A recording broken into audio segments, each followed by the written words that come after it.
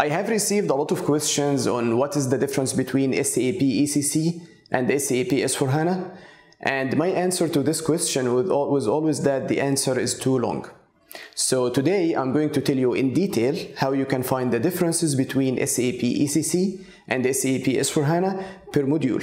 So if you are working on finance module, you can know the difference. If you are working on materials management, if you are working on sales and distribution, you can know in details uh, the difference between SAP ECC and SAP S4HANA. And I'm also going to tell you how you can find the difference between the different SAP S4HANA versions that have been issued by SAP until now.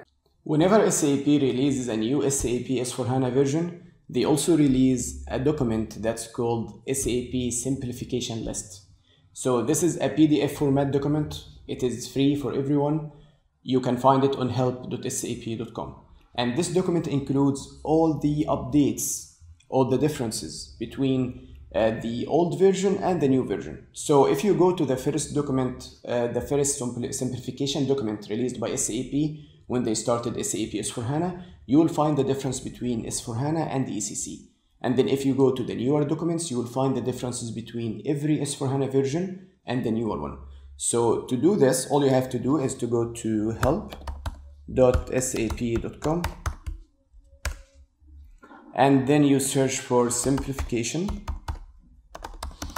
list.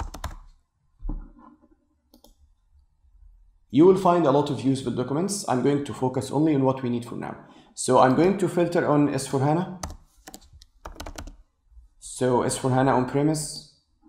And the format I'm looking for is PDF. So I'm going to unselect this and keep only PDF.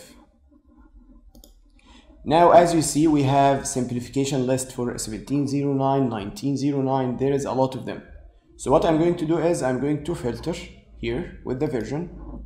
So if I want to know the difference between ECC and S4HANA, I will go to the first one, 1511. So this is the first simplification list uh, published by SAP.